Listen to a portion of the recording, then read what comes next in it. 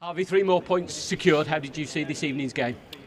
Yeah, I think it, it planned planned out the way we thought it would. It was a difficult game. Um, we were happy to go in at, at half time ahead, but we weren't particularly happy with our performance. Thought we were a bit off the pace, um, but I thought second half we were a lot better, controlled the game a lot better, and of course really happy with the three points did seem that first half Southampton caused plenty of problems. The goal before half time, as you say, a, real sigh of relief. Yeah, no, it was. I think that was a bit of a turning point for us. We knew first goals was so important in the Premier League, um, and then we knew after that we couldn't give them any hope and let them get back into the game. So I thought we controlled it really well. Quite a special goal as well from James Madison. Yeah, it was. Well, listen, you know he's capable of that. Um, we spoke about before the game. We knew we had to compete and fight, and then in that final third, show our creativity, and obviously James did that really well.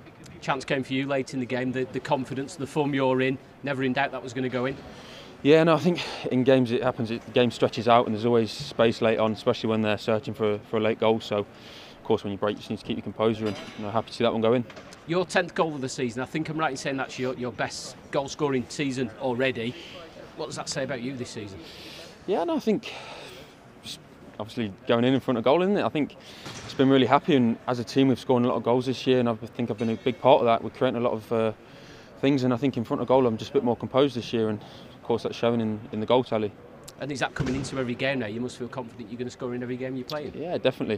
You know, the way we play is very, very attacking. So for me, that, that suits me perfect. I think, you know, all our frontmen go, go into the game thinking I'm going to score or get an assist. You know, there'll be a lot of chances for us. So of course, you know, every every game's exciting. Little time for rest before a, a big old game on Tuesday. Yeah, no, it'll be another difficult one. Um, it's a team that's going to, you know, be in and around us come the end of the season. So it's one that we're, we're looking to looking to go into and get three points again a landmark uh, night for Kasper Schmeichel tonight. 400 appearances for, for, Leicester City. A couple of words on him.